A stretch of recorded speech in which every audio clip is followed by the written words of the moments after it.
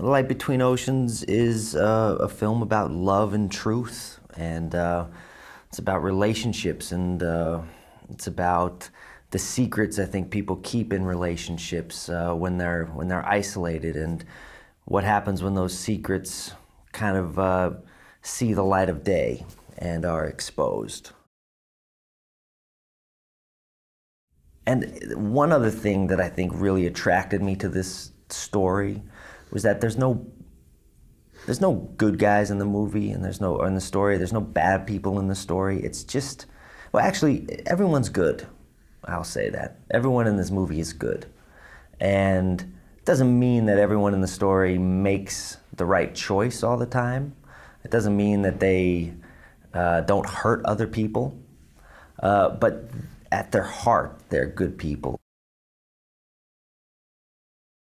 he's like the greatest trained actor of our time. Um, uh, and I've long been a fan of Michael's. I remember seeing Hunger for the first time uh, at the movie theater. Uh, right before I shot Blue Valentine, I went and saw Hunger.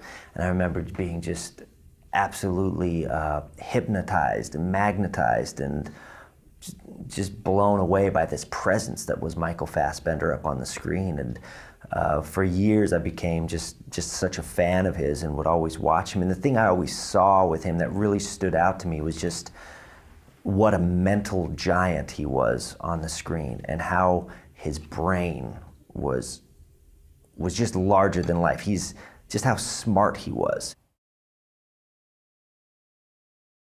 Thing I'll just say about Alicia is, is she's so beautiful as well, and she's so cinematic. If you just point the camera at her and she does nothing, you feel like there's a thousand secrets inside of her, and you feel like there's a thousand storms going on inside of her, and you feel like everything is happening and swirling in this girl. And then she, then you have her do a scene, and you realize how talented she is and how brave she is, um, and she's not afraid to do a scene when she hasn't slept at all the night before. She's not afraid to do a scene when she's not been in the makeup chair. Do you know what I mean? She's totally vulnerable uh, and completely self, uh, she has no self consciousness.